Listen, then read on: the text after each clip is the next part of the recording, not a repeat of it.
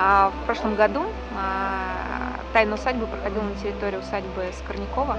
Это было тогда это было в новинку, и это был новый проект, и читая Ярославиных только-только а, его выпустила и защитилась, они получили даже какую-то премию по поводу этого мероприятия. И э, тогда еще музей усадьбы Семенова Тиньшанского существовал как э, предприятие Чеплыгинского района, и только в октябре прошлого года было передано в управление э, культуры Липецкой области. Сейчас мы а, муниципальное учреждение культуры Липецкой области. Мне приятно видеть наших друзей, мне приятно видеть людей, которые помогали нам сегодня создавать праздник. Для нас сегодняшнее мероприятие «Один день в дворянской усадьбе» — это первое, скажем, крупное мероприятие в новой роли после того, как усадьба была передана в ведение э, областной культуры Липецкой области. Выдающееся наследство, и помимо того, что оживает, по-новому оживает усадьба, наш педагогический университет с разрешения потомков принял на себя высокую миссию быть педагогическим университетом имени Петра Петровича Семенова-Тиншанского. А, нам очень хотелось на своей территории, где, как, как если не здесь, проводить тайны усадьбы, тем более, что тайн в нашей усадьбе очень много. И вот э, с тех пор, буквально с прошлого года, мы вынашивали эту идею. Но хотелось разнообразить этот праздник, этот день. Это был традиционный праздник. Надо сказать, что один день в русской усадьбе, это был еще и фестиваль русского романса, и последние 13 лет он проходил здесь, на территории усадьбы. Мы взяли и его, и получается сегодня, 17 августа, а, мы объединили несколько значимых таких событий. Это и а, фестиваль романса, это и а, тайные усадьбы от Ярославиных, погружение такое в усадебный быт 19 века. Плюс мы не забываем 19 год, у нас год театра, и мы привезли сюда Липецкий драматический театр с постановкой и жизни, слезы, и любовь по мотивам писем Льва Николаевича Толстого. Глядя в пространство, выставив вперед левую ногу и красиво держа в воздухе Ольги Константиновну руку, стал выжидать такта. Секретарь пишет, как он был хорош. Что за чудная старость, а 80 лет. Того, чтобы вся эта история заиграла, для того, чтобы территория парка, у нас очень большая парковая территория, реликтовые растения здесь произрастают, была интересна. Более 10 локаций на территории парка были размещены. В частности, мы возродили традиционную для Семеновых игру в крокет сожалению, погодные условия не позволили целый день наслаждаться нам игрой, но тем не менее мы были к этому готовы, и э, мы хотели бы познакомить наших гостей э, с играми 19 века, с тем э, бытом, с, с историей, со своеобразным времяпровождением, как раньше это было, каков был уклад, потому что мы все, ну, в каждом из нас есть частичка истории. Мы продолжаем ее в своем роде. Очень важно знать, кто ты, откуда, для того, чтобы не только идентифицировать себя, но и как-то а, лучше осознавать здесь и сейчас. Вот, наверное, для этого мы сегодня и создали этот праздник. А, в организации это было достаточно сложно организовать. В организации нам помогала несколько учреждений, в частности, Липецкий центр событийного туризма областной. А, они помогали нам с информационной поддержкой. А, мы работали с чеплыгинскими компаниями и организовали трансфер из Чеплыгина и из Липецка, потому что добраться до усадьбы а, городским транспортом или там муниципальным постоянным транспортом невозможно, транспортного сообщения нет. То есть мы постарались сделать так, чтобы гостям было удобно сюда приехать, чтобы они имели такую возможность. А, сегодня, 17 августа, также а, в усадебном доме мы открыли выставку. Выставка «Кукла в южно-русском костюме» совместно с Липецким а, музеем народного и декоративно-прикладного искусства. Ирина Сульна лично приезжала и монтировала эту выставку. Мы не так часто в нашем главном доме открываем выставки, потому что дом не отапливается, зимой вообще это сложно сделать, но тем не менее сейчас лето, и мы а, можем себе это позволить. Поэтому у нас несколько вот таких совместных проектов и с Липецкими музеями, и с а, учреждениями, областными учреждениями. Мы все вместе постарались объединить наши усилия для того, чтобы сегодняшний день был ярким, красивым и запоминающимся.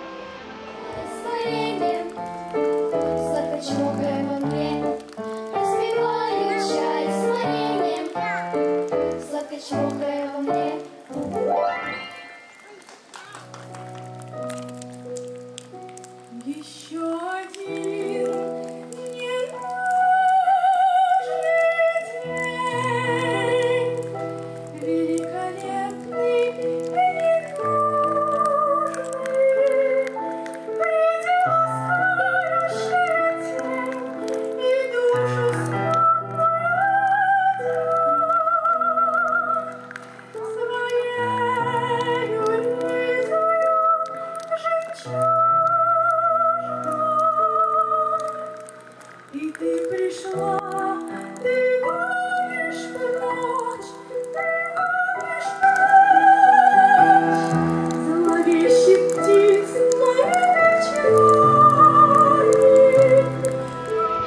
знаете, вообще сама по себе усадьба уникальна для Липецкой области, потому что, во-первых, э, деревянных дворянских усадеб ну, просто э, ну, по пальцам можно посчитать, их э, почти не осталось, а тем более это, где жил знаменитый, э, яркий, очень интересный человек, и а, о нем, конечно же, о самом Петре Петровиче можно рассказывать сколько угодно, потому что, ну, просто там сама жизнь Петра Петровича удивительно, увлекательна, интересна, а, и она, а, можно сказать, тянет на приключенческий роман, особенно его путешествие в Тяньшань. А, Это вообще просто отдельный разговор, э, который можно долго-долго о нем рассказывать. Но если мы говорим о самой усадьбе, то э, я бы, наверное, акцентировал внимание, может быть, даже не, самом, не на самом здании, а вот, вот там сзади за нами вот такое замечательное дерево, а, кедр сибирский. Ну, во-первых, кедр сибирский здесь, в центральном Черноземье. Да они не растут здесь, и никогда они здесь не культивировались. Они растут относительно медленно и, э, в в принципе, достаточно капризные. Они э, привычны для той э, территории. А вот э, прижился этот кедр, прижился. А почему прижился? Любовная история. Яркая, интересная. Юный Петр Семенов, он э, влюбился в соседку. Влюбился в соседку, а соседка беспреданница. И родственники Петра безумно против этого брака. Петр Петрович был человеком настойчивым. Очень настойчивым, а тем более в юности, в любви. Это, конечно же, безумно э, яркая любовь. Э, И он потом даже в преклонном возрасте все это описывал очень так очень любопытно. И а, он а, ухаживал за а, Верой Челковой, а, так звали ее избранницу, а, но его опекун, а, дядя Михаил Николаевич, э, категорически был против. А Однажды против, после ссоры а, с опекуном он приехал сюда в усадьбу и вспоминает, что здесь у него в катке стоит двухлеток кедра, который надо уже высадить в открытый грунт, и он а, вместе с садовником ищет подходящее место, но все время думает о своей возлюбленной.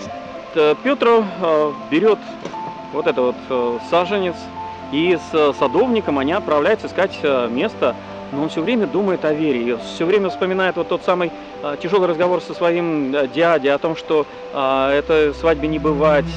Он думает, нет, я ее люблю, я ее безумно люблю, и, конечно же, все это так и должно быть, как еще в молодости. И он находит яркую солнечную полянку, высаживает этот кедр и все время думает о своей возлюбленной. Садив кедру, он думает о том, что кедр это вечное дерево, живет очень-очень долго. Любовь – вечное чувство. И он, высаживая это дерево, он поклялся, что он приведет сюда молодую жену и покажет дерево, которое было посажено в честь их пылкой любви. А Петр Петрович, я вам скажу, был человеком очень настойчивым. А, Не зря он прожил такую огромную бурную жизнь и э, в истории государства российского внес огромный вклад. Но это юное увлечение, оно переросло в крепкую любовь, и однажды, вопреки всем противодействиям в семье, он привез сюда молодую супругу. Ту самую Веру Александровну Чулкову, уже теперь Веру Семенову, и показал ей вот этот самый кедр, который был посажен в память о их любви. Кедр живет, любовь – вечное чувство, кедр – вечное дерево.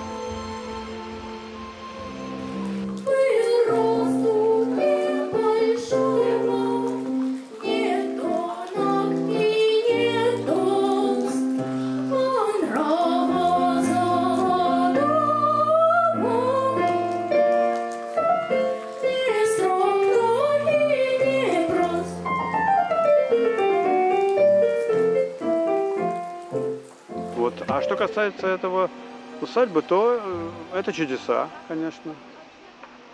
Что, то, что сохранилось, она и в относительно первоначальном виде, это, в общем, некоторым образом чудо, потому что вот в 6 километрах отсюда, уже в Рязанской области, усадьба тоже Петра Петровича, ну, музей усадьба, но не, не родовая, он ее купил, Гремячка. Там не сохранилось ничего э, именно из усадебного дома. Там сохранился только каменный флигель, в котором теперь, в общем-то, тоже очень симпатичный музей, который уже давно существует. Но это другая область, 6 километров до туда, можно пешочком пройтись примерно. И э, именно вот это вот оригинальная усадьба, потому что она внешне архитектурно повторяет облик того, что было много-много лет тому назад, больше ста лет тому назад. Петр Петрович родился в 1827 году, а этот дом построен, значит, видимо, в 1800, примерно 30-м. Ну, это уникально, уникально. Не, не, не все доживают до такого преклонного возраста дома, тем более он деревянный. Кстати, в Гремячке тоже был деревянный усадебный дом, даже едва ли не больше этого, он сгорел в 17 году. Ну, по понятным причинам. Значит, Россия уже перед Первой мировой войной была очень на подъеме, потом все это, к сожалению, обрушилось. Ну, в какой-то степени дворянство – это один из этапов эволюции нашего общества. Конечно, к 20 веку это уже потихонечку все таяло, это уже было не так важно. Но традиции, да, сохранялись, и они уже под другими именами, например. Вот примерно так.